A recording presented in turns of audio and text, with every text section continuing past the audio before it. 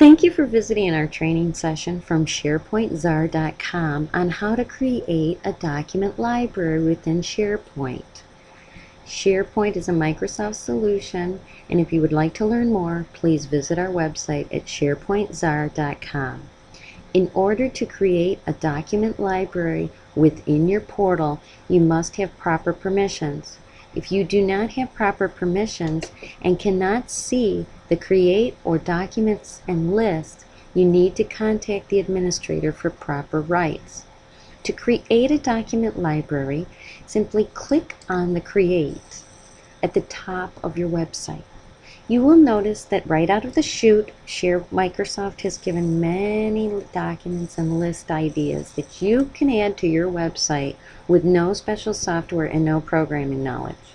For the sake of this clip, we're going to create a document library. So we simply click the link that says Document Library. We need to give it a name.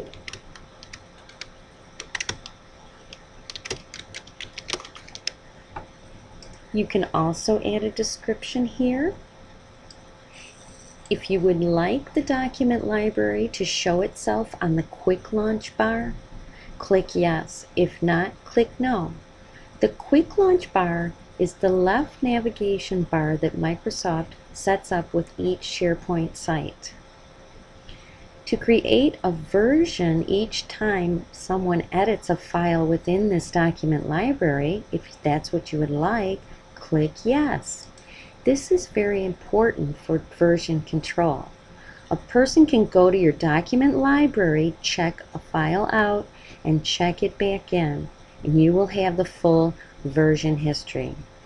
The document template, there's a drop down, but as you can see, we've chosen Microsoft Word. Simply click on Create, and there's your document library that we called, that we just created. Within this document library, you can send a link. A person can click on the alert section, which will allow them to be alerted anytime you add or remove from this document library. To, to add to your document library, simply click Upload Document. And as you can see, this looks very familiar. It's no different than attaching a document to an email. Click the Browse, find the folder on your desktop, click the document, click the open, and as you can see, it's here and ready to be uploaded.